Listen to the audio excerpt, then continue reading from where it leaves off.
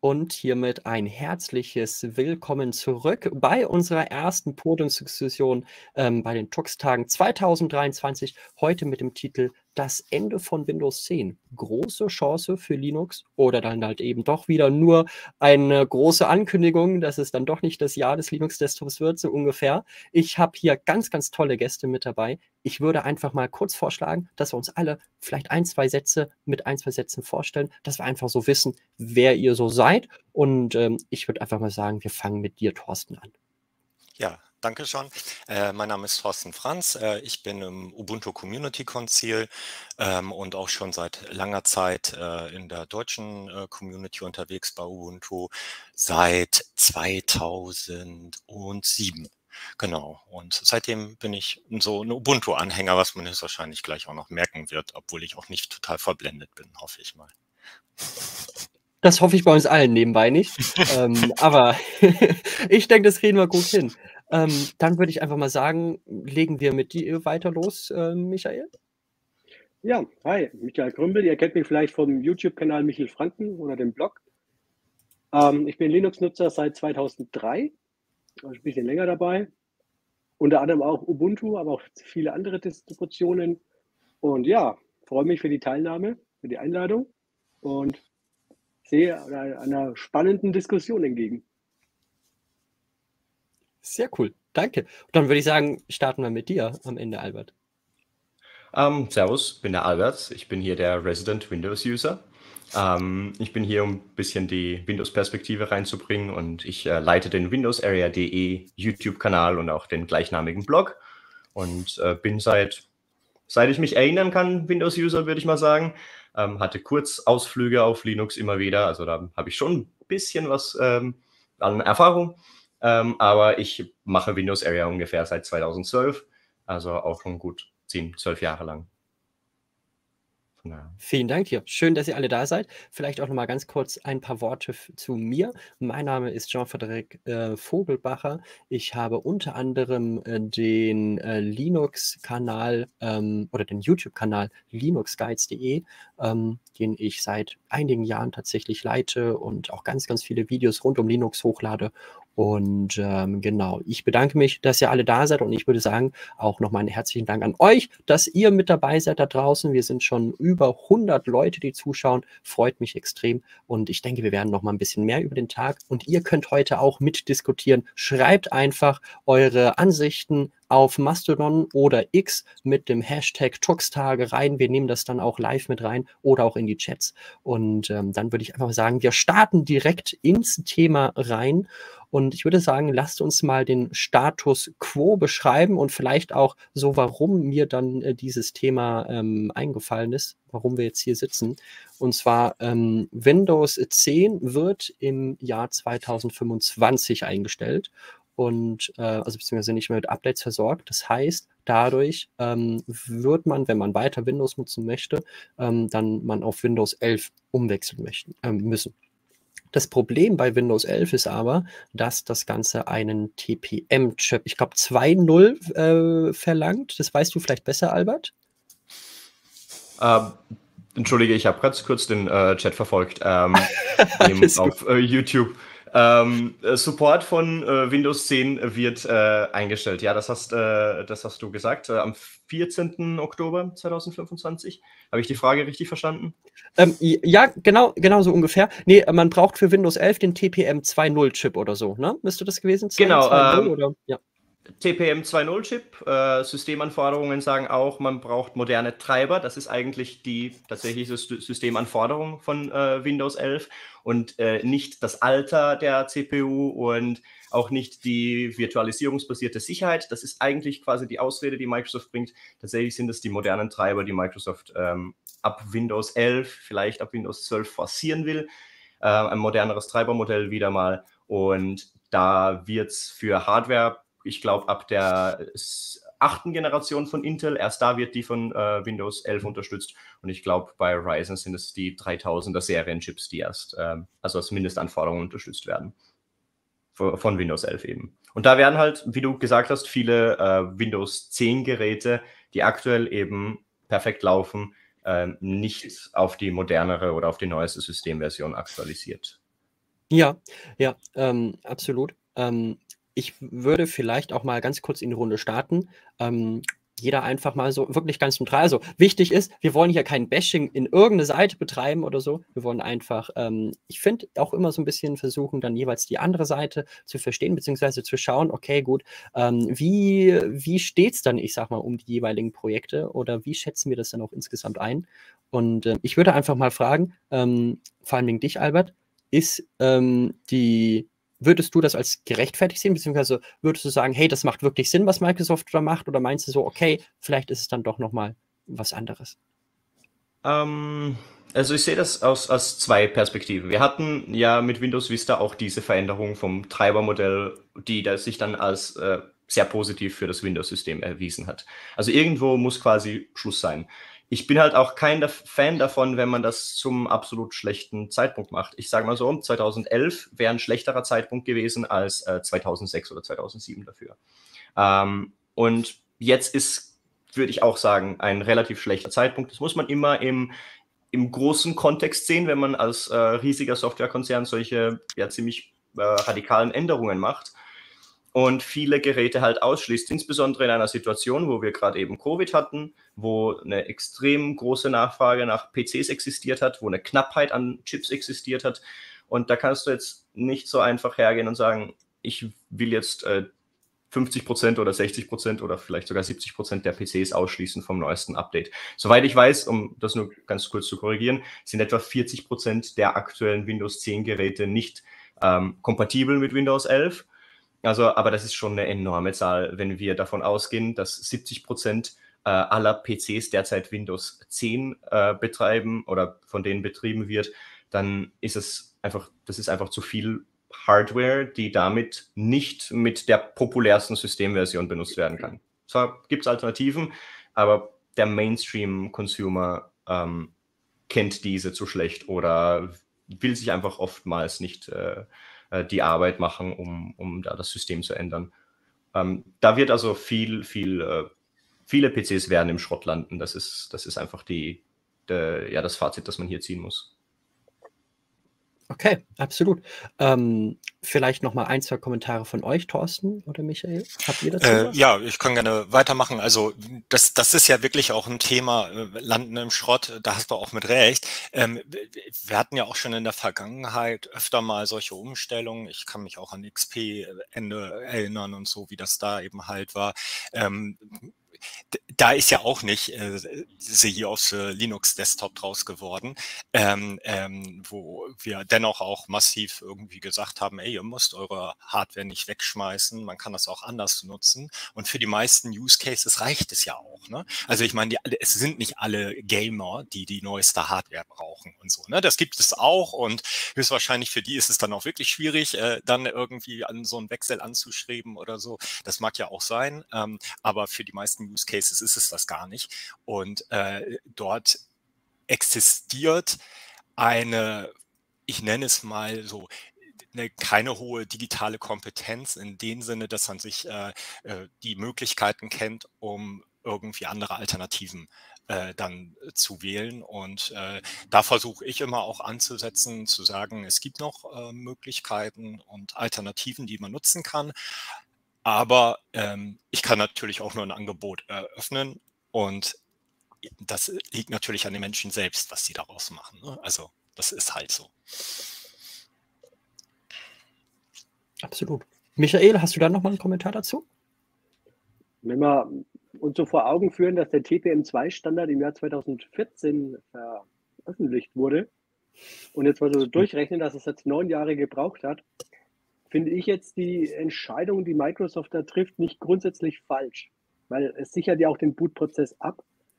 Deswegen haben eigentlich eher die Hersteller viel geschlampert. Das heißt, viele Hersteller sind halt weiterhin auf dem 1.2er TPM-Standard geblieben, haben noch viele Einsteiger- und Mittelklasse-Geräte damit veräußert. Und jetzt fliegt das Ganze irgendwo um die Ohren.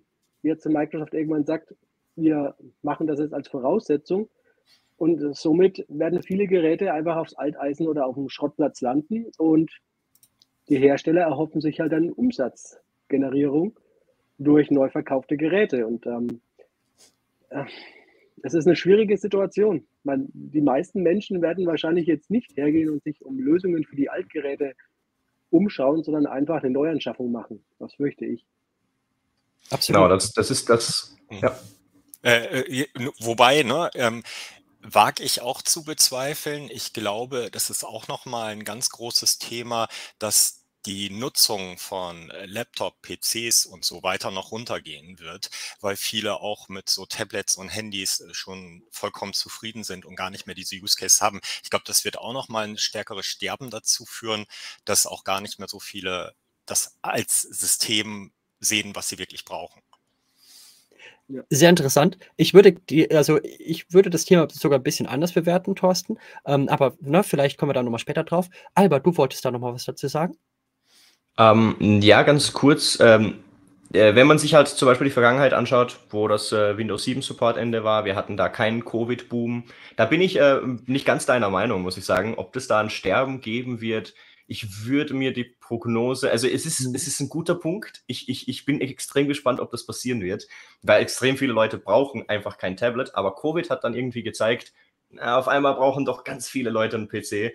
Ähm, oder hatten den gebraucht und vielleicht kommt das jetzt wieder langsam. Da, da traue ich mich äh, keine Prognose zu.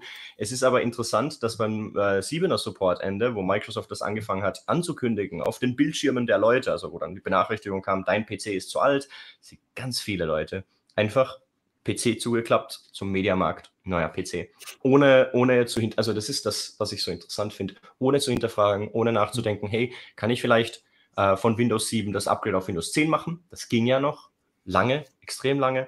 Ähm, oder, oder um nachzudenken, was kann ich für meine Hardware tun? Wie kann ich upgraden? HDD auf SSD zum Beispiel ein bisschen mehr haben.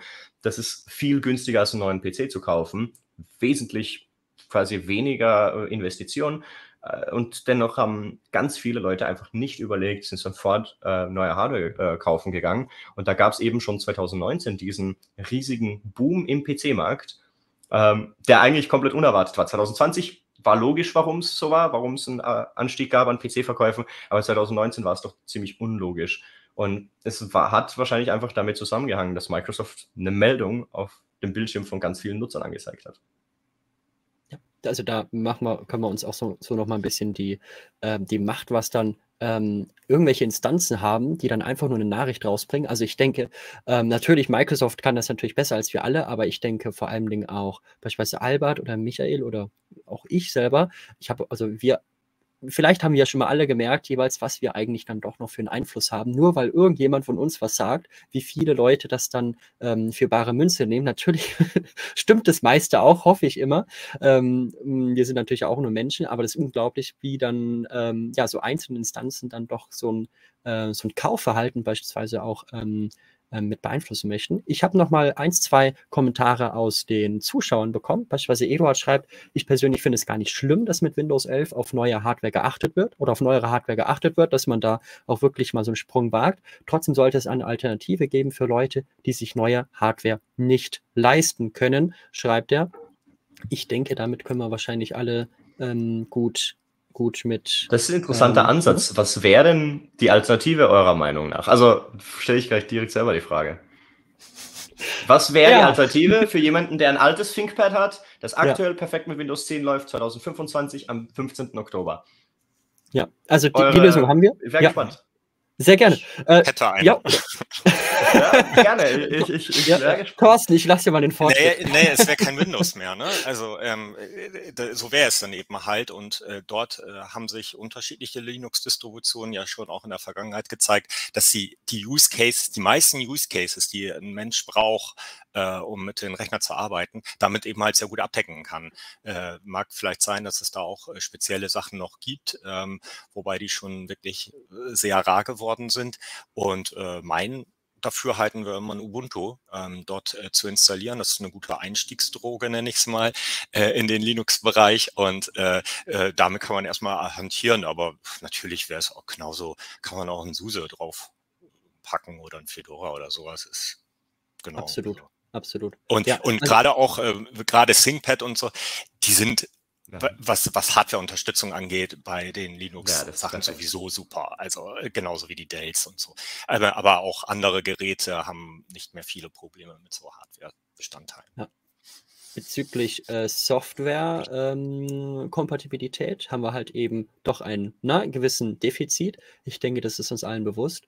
Äh, was ich da tatsächlich auch ähm, aktuell bei vielen Unternehmen mittlerweile durchführe, aber auch bei manchen Privatpersonen, die sich bei, bei uns melden, ist tatsächlich, dass wir eine virtuelle Maschine aufsetzen mit einem Windows dann drin, wo dann, wenn man sagt, okay, meine Steuersoftware oder sowas läuft nur auf Windows und man kriegt das nicht gescheit so direkt unter Linux zu laufen mit irgendwelchen Emulatoren, in Anführungszeichen, oder Sachen, die kein Emulator sind, Stichwort Wein, ähm, dann äh, tatsächlich die virtuelle Maschine mit ähm, dem Windows zu nehmen und das funktioniert tatsächlich erstaunlich gut. Das einzige Manko, was wir haben, ist bei der 3D-Beschleunigung. Dort hast hat man halt schon etwas weniger Power, wobei so einfache 3D-Sachen, die funktionieren trotzdem ganz okay. Aber jetzt, wenn man beispielsweise in Richtung Gaming sieht, dann sind wir da natürlich, äh, dann kannst du es vergessen, meiner Ansicht nach. Ähm, aber gut, dann kannst du die alte Hardware sowieso vergessen, sagen wir es mal so. Und ich glaube noch bei Adobe-Programmen, wenn man jetzt wirklich auf, den, auf der Adobe-Reihe liegt, dann hat man unter Linux ist wirklich, wirklich schwer. Ähm, ansonsten funktioniert das tatsächlich, also ziemlich gut, ich würde mal sagen, zum Konzept habe da auch schon mal verschiedene Konzepte auch nochmal auf dem YouTube-Kanal veröffentlicht und so weiter.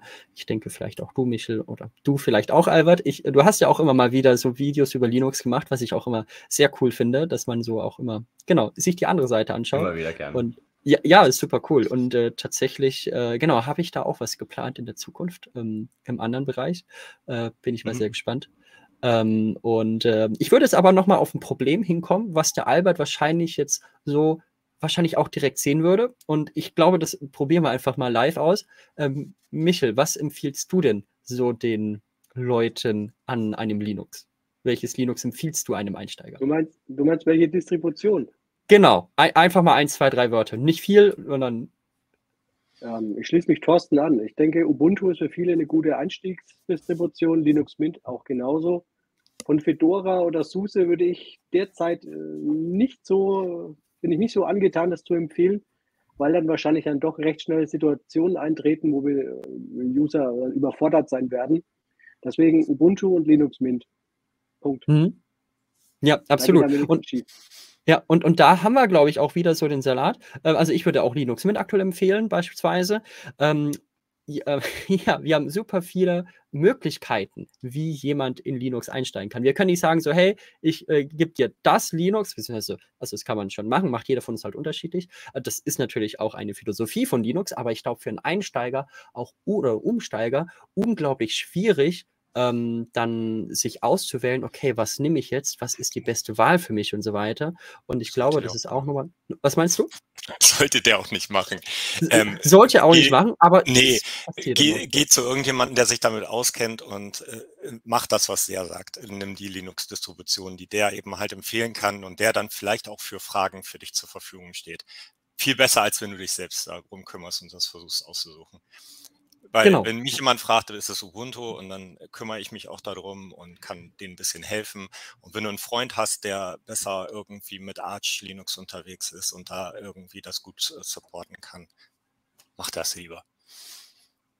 Ne? Ganz klar. Ne, da haben wir so die Sachen, Frage fünf Linux-Leute und bekommen zehn Meinungen. Ich glaube, das ist, ähm, also ist einfach, ich sag mal, so draus gewachsen und es hat auch Vorteile, dass wir natürlich so zerstreut manchmal sind. Also ähm, dadurch haben wir wirklich so einen Wettbewerb der verschiedenen Technologien und so weiter, siehe Snap und Flatpak beispielsweise oder weitere Sachen. Ähm, das ist schon ziemlich cool. Aber natürlich für jemanden, der da neu reinkommt und jetzt beispielsweise keine Person hat, die ihm jetzt sagt, hey, so nimm das, ähm, dann wird es natürlich schwieriger. Das versuchen natürlich Michel und ich so ein bisschen abzunehmen dann auch. Ähm, und das, Gott sei Dank erhalten wir da auch viele Nachrichten. Ich denke, bei dir ist es auch nicht anders, Michel, ähm, mhm. dass wir dadurch doch echt äh, der Grund waren, dass dann tatsächlich auch viele umgestiegen sind. Aber es ist ein sehr, sehr weiter Weg. Und vielleicht nochmal aus deiner Perspektive, Albert, was sind denn deiner Ansicht nach die Hürden? Beispielsweise, wenn man jetzt sagt, okay, 2025, mein Windows 10 geht nicht mehr ähm, auf, oder mein Windows 11 geht nicht mehr auf einen neuen Rechner. Äh, was mache ich denn jetzt. Ähm, was für Hürden würdest du sehen ähm, im Umstieg in Richtung auf Linux? Also Von meiner Erfahrung nach, äh, ich spreche jetzt nur aus meiner persönlichen Erfahrung, es ist relativ wenig, die ich habe mit Linux, ist es vor allem Hardware-Kompatibilität mit modernen Geräten. Ähm, wenn du jetzt sowas, äh, ich meine, das Problem habe ich natürlich jetzt nicht mit dem Dell XPS 13, das vor mir steht, oder so einem Lenovo Legion Gaming PC.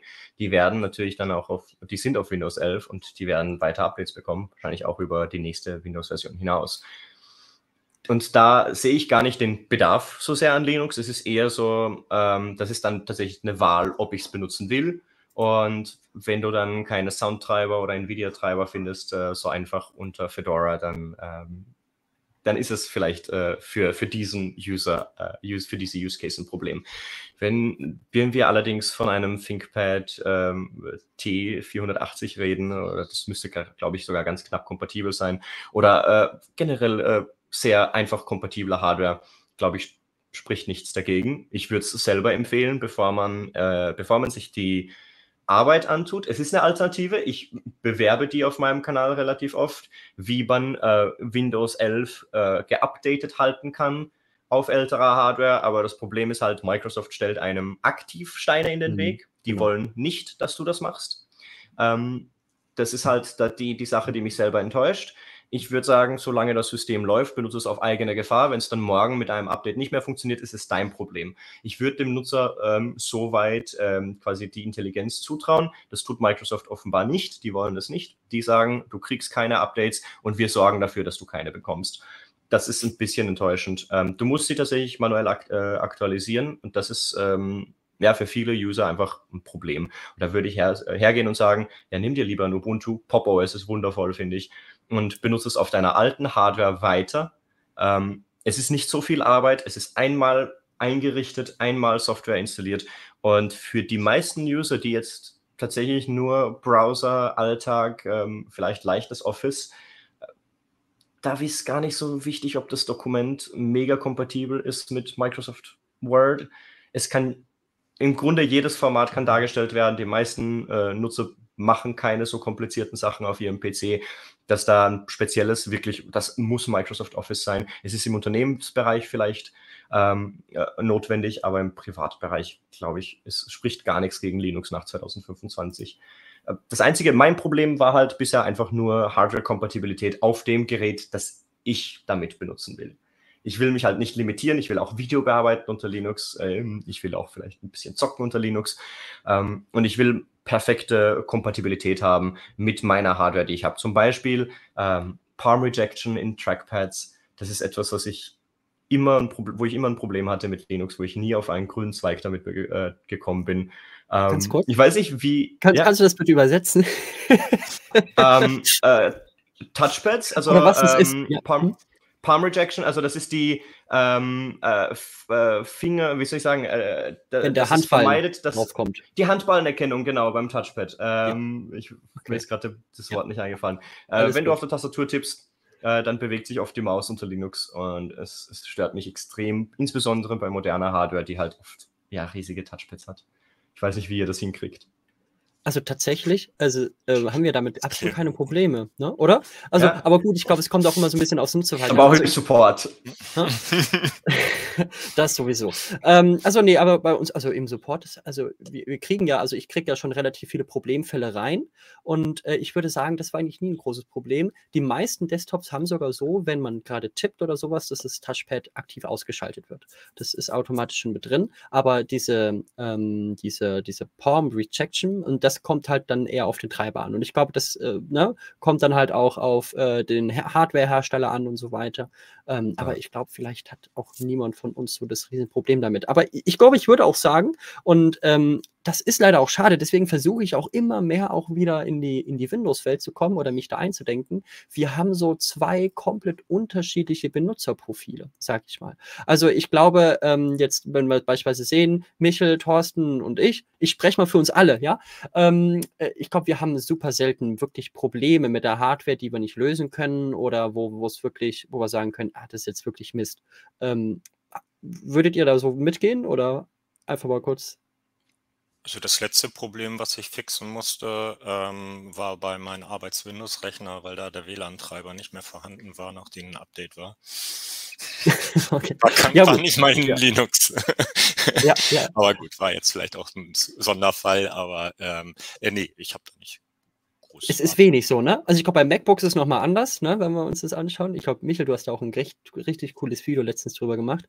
Ähm, aber ich würde sagen, nee, da haben wir gar nicht so die Probleme. Ähm, und äh, ich glaube, wir haben auch ein ganz anderes Nutzerverhalten, inwiefern was funktioniert und ähm, wie wir Sachen angehen. Beispielsweise ähm, unter Linux gibt es ultra coole Abkürzungen manchmal, die man unter Windows nicht hat. Aber dafür hat man unter Windows auch verschiedene Nutzerverhalten, ähm, die äh, ich glaube, ähm, ja, die wir selber gar nicht unter Linux kennen oder gar nicht vielleicht auftun oder einfach noch ganz anders lösen. Also ein Beispiel hätte ich äh, jetzt bei Linux, wenn man irgendwas markiert in der Textzeile irgendwo, dann kann man das irgendwo anders mit der mittleren Maustaste direkt einfügen. Das ist so eine schnellere Zwischenablage, die ist komplett unabhängig davon. Das ist einfach mega beispielsweise und das hat man unter äh, Windows nicht. Das würde mir direkt unter Windows einfallen, also was, was man da glaube ich nicht so hat. Ähm, ansonsten bei Windows ja, fallen mir sicher auch an manche Sachen ein. Hast du vielleicht was, äh, Albert? Um, ähm, ja? Windows, Linux-Unterschied. Ähm, ich, ganz ehrlich, kämpfe mit jeder äh, Linux-Installation mit, ähm, weil ich habe es zuletzt auf relativ moderner Nvidia-basierter Hardware äh, probiert, 12. Gen ähm, i7 und ich hatte nur, nur Probleme. Ich habe äh, Sound gar nicht hinbekommen. Ich wollte tatsächlich für mindestens einen Monat den Umstieg machen. Also das war tatsächlich mal, ich habe äh, ein paar Distros ausprobiert, habe mir gedacht, äh, Fedora wäre genau das Richtige. Ich weiß es nicht, der, der beste Anfang. Aber ich wollte halt tatsächlich den, den, den Linux Way gehen, komplett, ja, 100 Prozent. Ja, sehr cool. Und es, es müsste für meinen Workflow eigentlich funktionieren. Ähm, nur hat es das im, äh, im Endeffekt nicht ohne extremen Zeitverlust für mich. Und ähm, ich habe mir ein, zwei Tage dafür genommen und beide habe ich quasi äh, aufgebraucht und da habe ich gesagt, na, jetzt install Windows, einfach Stick rein und, und zurück. Okay, Leider, sehr, ja. Ja. Also ja, schon, sehr verständlich, sehr verständlich. Absolut. Ähm, wenn du Lust hast, Albert, äh, können wir ja da mal so ein bisschen miteinander kooperieren, weil ich plane nämlich sowas ähnliches auch äh, lang, also mal tatsächlich, ich weiß nicht wann genau. Eigentlich wollte ich es diesen Herbst machen, bis jetzt habe ich es noch nicht gemacht. Ja. Äh, wirklich ja. mal da äh, einen, einen Monat wirklich nochmal komplett rüber zu wechseln. Ähm, und Voll. wenn du möchtest, wenn du es nochmal irgendwann angehen möchtest, dann ähm, helfe ich dir da gerne dabei und gib vielleicht Krieg auch. Support? Oh. Wenn, immer, immer, gerne, immer gerne. Gerne, gerne, ja. absolut gerne. und, und, nee, also, ich möchte, und ich möchte dann Michael ähm, äh, Ratschlag äh, dann nochmal reinbringen, dann benutzt doch ein Mint oder ein Ubuntu. Ne? Beispielsweise. Ja, ne, genau. Also ich würde auch kein Fedora am Anfang empfehlen. Aber ne, das ist, ähm, genau, da, da sehen wir halt die Sache. Ne? Also ähm, wenn du halt niemanden hast, ich sag mal, der der sich so ein bisschen auskennt, der dich so ein bisschen an die Hand nimmt. Und dann muss ich ganz ehrlich sagen, ähm, ich krieg's in so vielen Linux-User-Gruppen mit. Also das sind so lokale Gruppen, wo sich Linux-Nutzer treffen, wo auch neue Leute reinkommen. Ähm, also da, auch wenn du die fünf oder zehn Leute fragst, die da sitzen, die haben auch alle unterschiedliche Meinungen und dann werden da manchmal Konstrukte ausgepackt, wo ich mir eigentlich nur noch die Hände über den Kopf zusammenschlagen kann und sagen so, sag mal, das kann doch kein Einsteiger wirklich, wirklich gut nutzen. Ne? Also das da, ich glaube. Gibt es auch einen Win? mm, Wahrscheinlich, ja. ja. Vielleicht okay. nicht so verteilt, ja. weil es da so viele Denkweisen gibt bei Linux, allein schon Philosophien und dann basierend darauf äh, noch so viele unterschiedliche Sachen. Aber in Windows gibt es auch Gefrickel, das du nicht glauben wirst. Wahrscheinlich, wahrscheinlich. Also ich glaube, ich weiß nicht, wie euch das geht, aber manchmal, also klar, ich glaube, das ist immer so. Auf der anderen Seite des Ufers wächst das Gras immer ein bisschen grüner in manchen, in manchen Hinsichten. Manchmal denkt man sich so, ah gut, ja, jetzt auf Windows hätte ich das Problem nicht. Wo hatte ich das letztes Mal, was mich richtig geärgert hat? Genau. Was wir beispielsweise gar nicht haben, äh, ist, wenn wir die NVIDIA-Unterstützung sehen bezüglich, ähm, und ihr als Windows-Nutzer habt ein super cooles Feature ähm, mit der Webcam, ähm, dass ihr da super cool direkt, ähm, ich glaube, Hintergründe viel einfacher entfernen könnt und das direkt integriert auf eure Grafikkarte. Wir müssen da meistens über die CPU gehen und das ist alles nicht so schön. Und ich glaube, eins so Sachen, die haben mich wirklich weggehauen, wo ich mir wirklich sage, okay, das gibt es unter Linux einfach nicht, kriegst du nicht zum Laufen, ähm, weil Nvidia das einfach nicht unterstützt. Beispielsweise, ne, da stelle ich mir dann vor, dass das Gras grüner wächst. Ich glaube, viele andere denken sich so, ah gut, schon wieder irgendein Pop-up. Na, auf Linux hätte ich das jetzt nicht. Blöd gesagt, ne? Also ja. ich glaube da, ne? Absolut. Ich glaube, da auch haben, dazu stimmen, ja. komplett. das ist cool. Nee, ich glaube auch vor allem Ding, äh, wenn man einen neuen Rechner kauft oder sowas mit Windows, ne, dann ist ja auch manchmal so irgendwie 90 Tage kostenlose Testversion. Ich glaube, du wirst es genauso hassen wie wir. Weiß ich nicht. Absolut. Also ich, ja. ich glaube auch diese viele Features, die, die dazukommen. Ich meine, äh, ob du das jetzt in äh, Discord einschaltest, irgendwie den Hintergrund zu ja. deaktivieren, ob du das in deiner Nvidia-Software machst oder ob du zum Beispiel ein Windows ARM-Gerät hast, wo dir das auch in den Windows-Einstellungen äh, sogar angeboten wird, ist im Endeffekt für den Endkunden vollkommen egal. Das ist, glaube ich, ähm, ich meine, natürlich ist es äh, feiner, wenn es die Grafikkarte selber rendern kann und es sieht wahrscheinlich besser aus, der Effekt sieht besser aus. Aber es ist, es ist doch immer Meeting-Software. Äh, nicht jeder hat so viel Zeit äh, oder Lust darauf, vor dem Meeting jetzt den Hintergrund zu bearbeiten. Das macht man mit einem Klick und wenn es dann funktioniert, perfekt. Wenn es nicht funktioniert, dann vergesse ich es einfach. Wie jeder ja. andere User wahrscheinlich auch. Das, das stimmt natürlich. Also ich glaube, ich, vielleicht war es auch ein schlechtes Beispiel. Irgendwas von Nvidia gab es, was man unter Linux partout nicht hinbekommen hat. Vielleicht war es noch ein bisschen was anderes. Das kann ich aber, weiß, weiß ich nicht mehr ganz genau. Na, aber also trotzdem haben wir beispielsweise, was ihr habt, ist so ein Nvidia Control Center, wo man die Grafikkarte nochmal genauer oh, ja. betrachten mhm. kann, was super schön animiert ist und so weiter. Und wir haben da unsere Nvidia X Server Settings oder sowas. die meisten Nvidia-Nutzer mm. kennen das. Das ist nicht vergleichbar absolut nicht. Das und, sieht ähm, ein bisschen basicer aus, sozusagen. Wayland-Treiber kommen aber von oh. Nvidia mittlerweile. Gibt es das? Ähm. Ach Gott. Ich glaube, keine wäre das Thema. Wayland.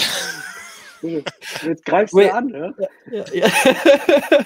ja ich glaube, ich glaub, ein Argument gegen Linux im Umstieg ist Wayland. Ne? Also da funktioniert, also, naja, also, also, da jetzt mal, also ja, Nvidia, Wayland, oder? Also, naja, also es kommt schon noch mal ein bisschen drauf an. Also Wayland ähm, ist sehr früh noch in der Phase, obwohl es schon lange entwickelt wird und kann einige ja. Sachen noch nicht ganz so super gut. Und äh, ich, ich habe schon als Lösung bei Linux-Systemen Wayland wieder ausgeschaltet, damit eben halt alles wieder gut läuft. Ähm, Gerade sowas wie Screensharing auf äh, ähm, einer Online-Konferenz und so, das funktioniert zum Teil mit Wayland nicht ähm, und so weiter. Äh, das sind so Basic-Sachen, wo man dann doch wieder Wayland ausschaltet. Äh, das geht ja auch ganz einfach und dann wieder auf X zurückgeht, was natürlich unschön ist, weil ähm, ist, äh, ist natürlich was, was neuer ist und das soll man ja auch in Zukunft nutzen, aber es ist an der Stelle manchmal noch nicht so ganz ausgereift, ja. Darf ich kurz? Ähm, weil wir haben hier schon doch äh, sehr viel über Linux geredet und ich äh, wollte ja, kurz äh, noch ein Thema einbringen, wenn ich darf. Sehr. Und zwar ähm, auch gerne an die Community auf YouTube. Ich äh, lese da ein bisschen auch den Chat mit. Ähm, was wäre denn, wenn Microsoft das Service Windows durchzieht? Also wir haben ja alle, wir wissen ja alle, Windows 10 war das Service Windows. Ich weiß nicht, wie viel Kontakt ihr jetzt in äh, dieser Runde mit Windows 10 hattet, aber um es kurz zusammenzufassen, jedes Windows 10 Update brachte irgendwie ein Service Feature mit. Microsoft hat zum Beispiel Beam gekauft, äh, diese Video-Streaming-Plattform, und dann wollte dass man das pushen ein Jahr lang, dann hat man es wieder eingestellt, dann hatte man Linux, äh, dann hatte man Remix 3D diese äh, Paint 3D-Software, wo man quasi ähm, irgendwelche 3D-Modelle von Microsofts Diensten runterladen konnte. Also alles und dann auch noch das Kontakte Hub, all diese Features gibt es nicht mehr. Wurden alle innerhalb von ein, zwei Jahren eingestellt, nachdem sie released wurden. Aber sie gingen in diese Richtung, um zu sagen, ich, ich, äh, Microsoft wollte ein Service Windows etablieren. Und Windows 10 ist für mich immer das geblieben, ein, ein, ein, ein Werbeverseucht, sage ich mal, werbeverseuchtes System, wo Microsoft wirklich versucht, seine Dienste zu pushen, so wie es Apple in den letzten Jahren am iPhone macht. Versucht mal ein iPhone zu verwenden ohne Apple Music und so weiter Abos. Ziemlich viel Werbung im System. Und ich denke jetzt, wenn Microsoft jetzt hergeht und sagt, jetzt kommt der Copilot, äh, diese AI-Assistenz in Windows 10, vielleicht werden jetzt noch mehr AI-Features zurückportiert, die man sehr leicht an ein Service-Modell koppeln kann kannst zum Beispiel nichts aus Paint ausschneiden mit dem AI-Tool oder was auch immer oder mit dem AI-Generator, wenn du zum Beispiel nicht für Microsoft 365 zahlst. Oder du kannst es dreimal am Tag machen und du kannst es dann zehnmal am Tag machen, äh, ein Bild zu generieren in Microsoft Paint mit dem Copilot, wenn du dafür bezahlst. Was, wenn Microsoft den äh, Weg weitergeht und sagt, ja, Windows 10 ist das Service Windows, drei Jahre Support gibt es äh, länger, wenn du monatlich dafür zahlst. 9 Euro im Monat, 3 Euro im Monat für ES Extended Updates. Das machen die bei Unternehmen. Unternehmen äh, stehen ziemlich drauf, äh, ihre Hardware nicht updaten zu müssen oder upgraden zu müssen. Ähm, was Und denkt Software. ihr aus User-Perspektive? Weil es ist einfacher, äh, äh, als jemand, der, der Erfahrung hat, äh, also das, das seid auf jeden Fall ihr, ja, im Linux-Bereich und auf, im, im Switch-Bereich von Windows 10 auf Linux. Was denkt ihr, was ist komfortabler für die meisten Nutzer? Ein Euro im Monat, 12 Euro im Jahr, drei Jahre lang und dann erst einen neuen PC kaufen? Oder, oder Linux installieren sofort und die, die Zahlung ausreichen? Ich weiß, philosophisch werdet ihr eins antworten, aber was denkt ihr, ist, ist praktisch, was denkt ihr, werden User dafür sagen? darüber sagen. Ja. Vor allem Microsoft hat das nicht angekündigt, also das ist nur meine persönliche Spekulation jetzt.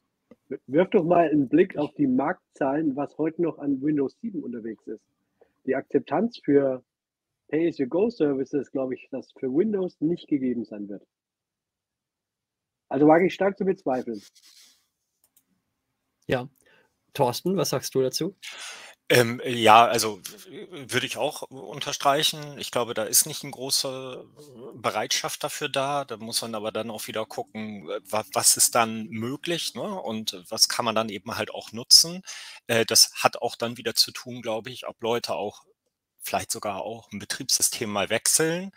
Ähm, ähm, für welche, die wirklich so ganz einfache Sachen machen, wie meine Mutter, die eben halt mit einem Browser unterwegs ist und auch nicht viel mehr, so ungefähr, und ein bisschen Fotos äh, zusammenschneidet und so, äh, da reicht natürlich irgendwie auch ein Linux-System für.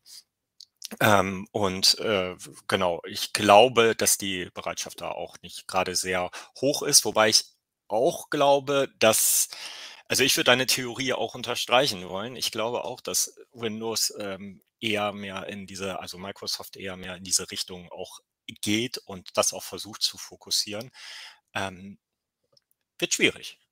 Wollen wir es mal so sagen. Aber mhm.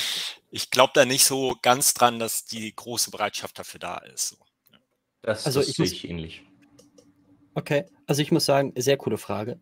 Ähm, ich würde, ich hätte sogar gesagt, also wenn ich jetzt angenommen, ich bin jetzt absoluter Windows-Nutzer und ich wüsste nichts über Linux und hätte absolut keinen Bock, mich da einzuarbeiten, was wahrscheinlich schon viele haben.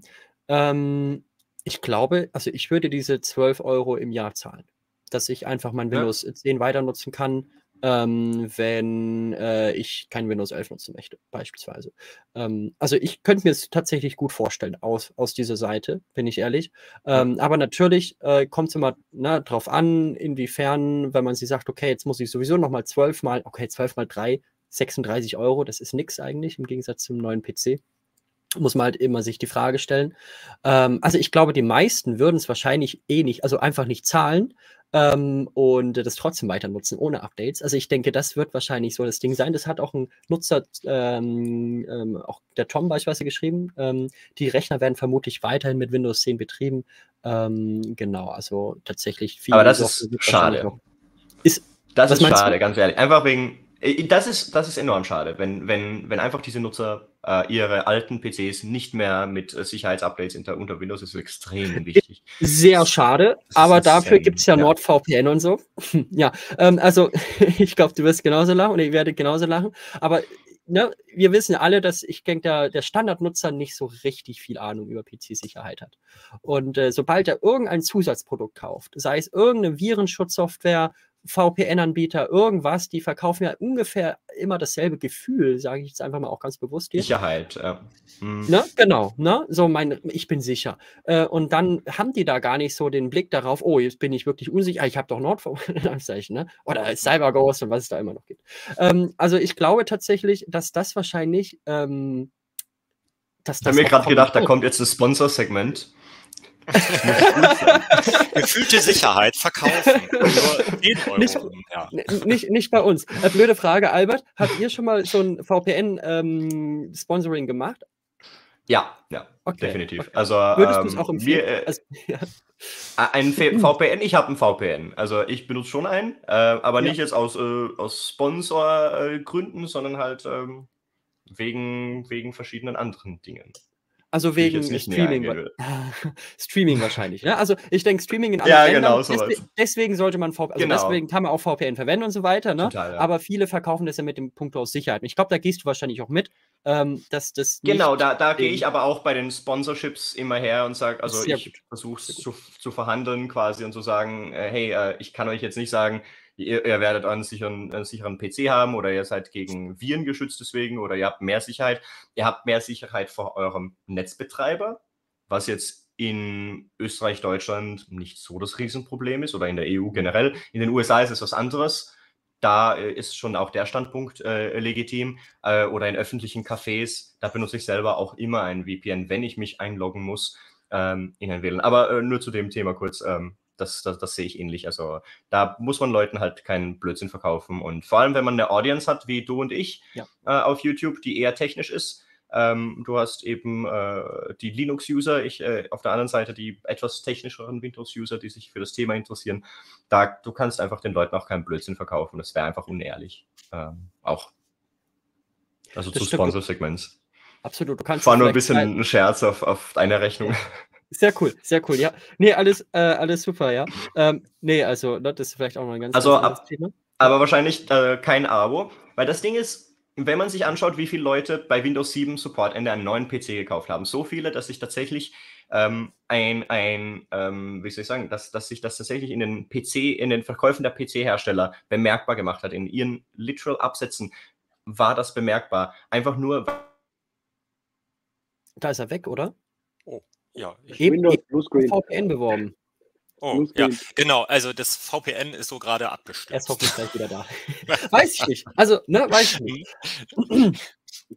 er ist sicher gleich wieder da. Aber ähm, währenddessen würde ich einfach mal sagen, Willst du das Risiko akzeptieren? Weiter.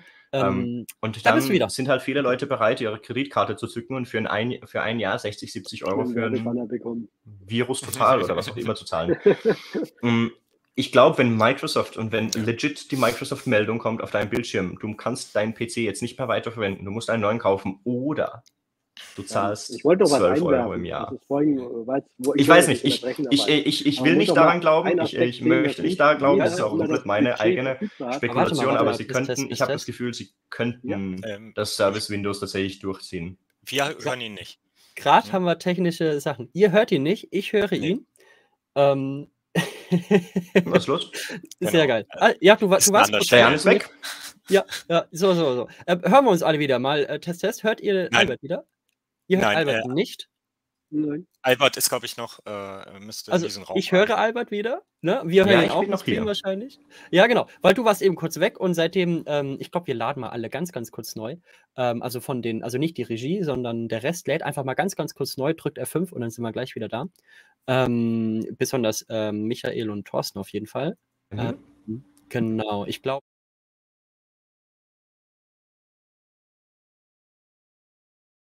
Ist auch wieder da. Und ich hoffe, der Rest, der Rest hört, hört dich wieder. Thorsten? Ja. Michael? Genau, perfekt. Ja. Albert, sag mal kurz was. Einfach nur Check oder sowas. Ne, er hört mich auch nicht, ne? Aber wir beide hören uns.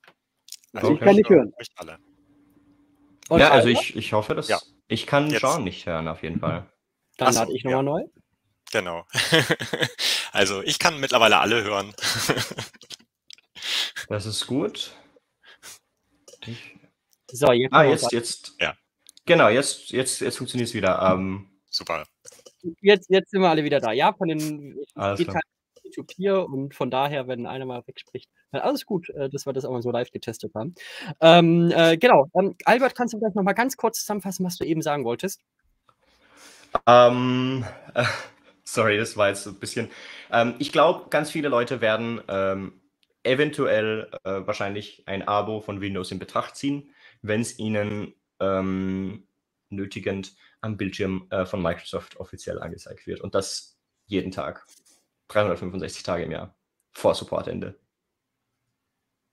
Ich denke. Das ja. ist so meine kleine Vermutung. Ja ja, ja, ja. Du hast ja auch nochmal einen ganz, ganz anderen Einblick da drin. Ja, also es kann sehr, sehr gut sein, tatsächlich. Ja. Ähm, ich würde vielleicht sagen, wir haben noch fünf Minuten. Ich würde vielleicht nochmal kurz sagen, hat äh, jeder von euch ähm, die Punkte so ein bisschen angesprochen, die er ansprechen wollte? Oder ähm, hat jemand noch einen Punkt, den er unbedingt nochmal reinbringen soll? Will? Ich hätte Möchte? noch einen. Dann los mit. Also nicht jeder ist ja immer in der Lage, aus finanziellen Aspekten heraus permanent, wenn es ein Hersteller möchte, Hardware zu erneuern. Für solche Leute kann es vielleicht Sinn machen, Linux mal auszuprobieren. Wenn das Thema Geld kein Problem ist und man von Microsoft zugeballert wird mit Werbung, Es gibt ja nebst Linux und äh, Windows auch noch Mac OS. Also es gibt verschiedene Optionen, die man ergreifen kann. Ich würde immer mal empfehlen, das zu machen, wo man das beste Bauchgefühl mit hat. Es geht ja nicht darum, äh, irgendwas fanatisch oder wie eine Religion zu verfolgen. Das geht mir auch nicht mit Windows oder mit Linux oder mit Mac OS so. Aber man soll einfach schauen, ein unsupportetes Windows würde ich keinem mehr empfehlen. Stattdessen dann entweder eine neue Investition planen oder halt tatsächlich den Wechsel auf Windows und vorher Daten sichern. Immer Daten Danke. sichern. Ja. Absolut. Ja, ähm, ganz kurz ein Aspekt, den ich da nochmal ganz kurz, man kann auch ein Windows haben und gleichzeitig ein Linux. Das ist bei vielen Leuten auch gar nicht so bewusst und äh, das äh, geht mir jetzt immer so, dass ähm, ich äh, beim weihnachtlichen Support in Familienzusammenhängen bei PC-Problemen, äh, was höchstwahrscheinlich jeder kennt, der irgendwas mit Rechnern macht, ähm, äh, nutze ich ganz gerne auch äh, mittlerweile das äh, Windows Subsystem for Linux ähm, dort. Äh, das kann mittlerweile so ähm, auch äh, Treiber durchreichen an das Windows-System. Man äh, erkennt den alten Drucker ähm, über ja. das äh, Subsystem und äh, auf einmal ist er unter Windows auch verfügbar. Äh, Spielerei, aber wer mal äh, Lust hat, so ein ganz bisschen Linux auch aufzuprobieren, kann sich dieses WSL äh, als App laden und dann bekommt man auch ein bisschen von Linux mit. Also das mal so, so am Rande, so ein lustiger Fun Fact. Sehr cool. Ich würde vielleicht noch mal ganz am Ende, hm, also wir haben nur noch zwei Minuten, aber ist mir egal, ich mache das Programm. Ähm, ganz kurze Frage an Albert nochmal, wie, wie, du, wie du das einfach einschätzt. Ähm, würdest du erwarten, dass es tatsächlich, dass Microsoft langfristig einen Linux-Kernel hauptsächlich mit einbaut und vielleicht irgendwann ganz, ganz, ganz in der Zukunft die eigene Kernel-Entwicklung einstellt? Das ist ähm das ist eine schwere Frage, ehrlich gesagt. Ähm, ich würde eher äh, aktuell eher, eher Nein sagen. Es, es, es, ähm, es hängt halt sehr davon ab, äh, wie sich insbesondere Cloud in, in den nächsten paar Jahren entwickelt für Microsoft, äh, wie sehr deren Fokus äh, dort sich äh, hin zu Linux bewegt und wie sich auch die Nutzerschaft von äh, Windows verändert im Laufe der Jahre. Wenn das tatsächlich nur Business ähm, Entwickler, Unternehmen sind, ähm, kann ich mir das einigermaßen vorstellen, aber im Laufe schon von sehr vielen Jahren und sehr vielen Veränderungen ähm, nicht, absolut nicht kurzfristig. Aber dass sich Microsoft ähm, aktiver darum kümmern wird, das sieht man ja schon und ähm, dass man sich in Open Source Projekten involvieren wird, ähm, das äh, vergrößert natürlich auch äh, den Einfluss, den so ein Konzern hat. Und äh, das ist auch in deren Interesse und ich kann mir vorstellen, dass die da schon ein bisschen was weitermachen werden in die Richtung. Ob, das, äh, ob man den vollen Linux-Kernel in Windows integrieren wird, das hängt echt davon ab, ähm, wie die, das Klientel, für das es vorgesehen ist, äh, das WSL dann tatsächlich benutzt. Absolut cool, danke. Ähm, ich glaube, ist doch mal ein ganz, ganz eigenes Thema. Ich glaube, darüber können wir auch mindestens eine Stunde äh, telefonieren, äh, nicht telefonieren, sondern diskutieren. Ähm, äh, ja, ich bedanke mich ganz, ganz herzlich ähm, für eure Zeit. Wir, unsere Zeit ist leider zu Ende, außer es hat noch mal jemand von euch etwas, was er unbedingt loswerden möchte. Das ist Schönes nicht der Wochenende. Fall. sowas das von. Sowas von. Schön reinschauen bei den Tux-Tagen. Unbedingt, unbedingt. Wobei das Wetter spielt gerade fast gegen uns. Also bei mir scheint fast wieder die Sonne. Mal schauen. Nö, nö, hier oben im Norden nicht. Also da das kann man gerne drin bleiben.